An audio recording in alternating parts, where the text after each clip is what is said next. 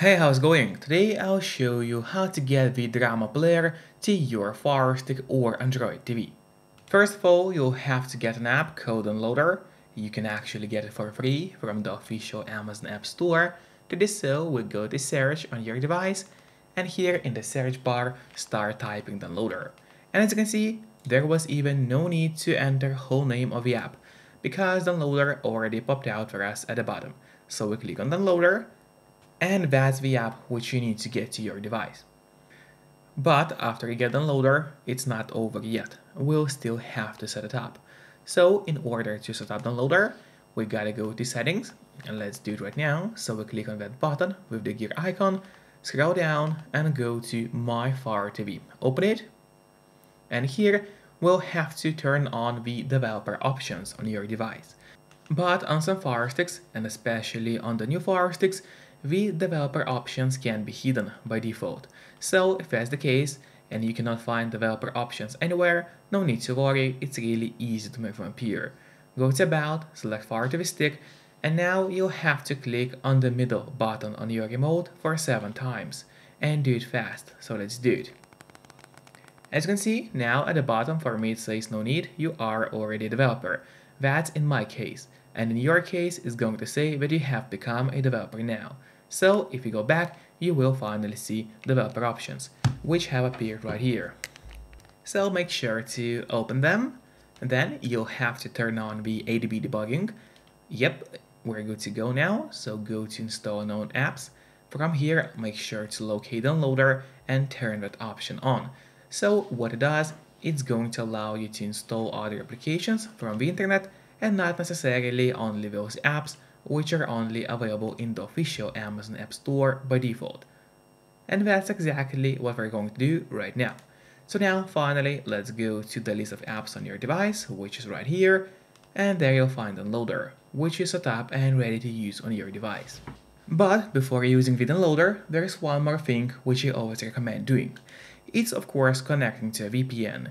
In my case, I mostly use NordVPN because they're super fast, we got a great app for Fire Sticks, Android TVs, phones, laptops, or pretty much any other device you may use.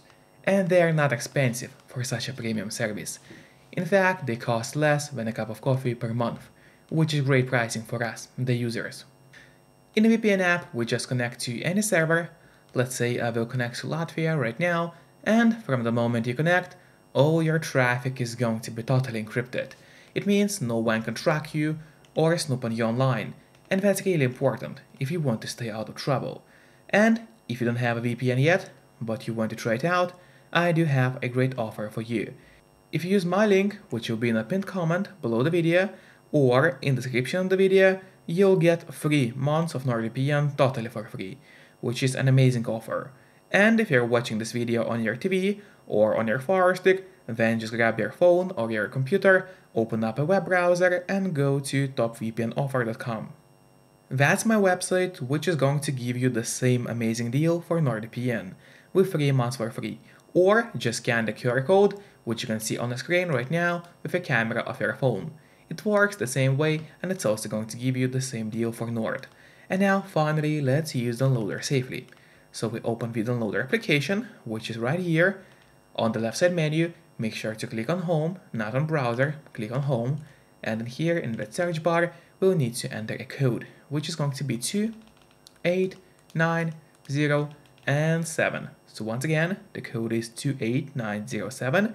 Make sure to enter it exactly as you see and do not make any mistakes. Because obviously if you make a mistake, then the code is not going to work. After that, you have to click on go, and while the website is loading, make sure to subscribe my channel so you would get even more content about Fire Sticks, as well as please hit the like button below this video. It really helps me a lot, and this way I'll be able to create even more videos for you. And now, after the website has opened, we just have to scroll down a bit until we see a media players category. So we gotta click on it, and then a huge list of apps is going to appear, which we have to scroll down until you find the drama player, which is right here. So let's click on it. Then an ad might pop up for you. If it does pop up, don't worry and just click on X or on close to close down the ad. In my case, I have to click on X. So we click on it, and now a new web page should open for us. Yeah, there it is, and we also have to scroll down. So keep scrolling until you see that little download button right here. Here it is. Now we need to click on it, click on it, and wait until the download starts. Usually it doesn't take long, but of course it all depends on your connection speed. Then click on install and wait until Drama Player gets installed to your Fire Stick or Android TV device, depending on what kind of device you're using.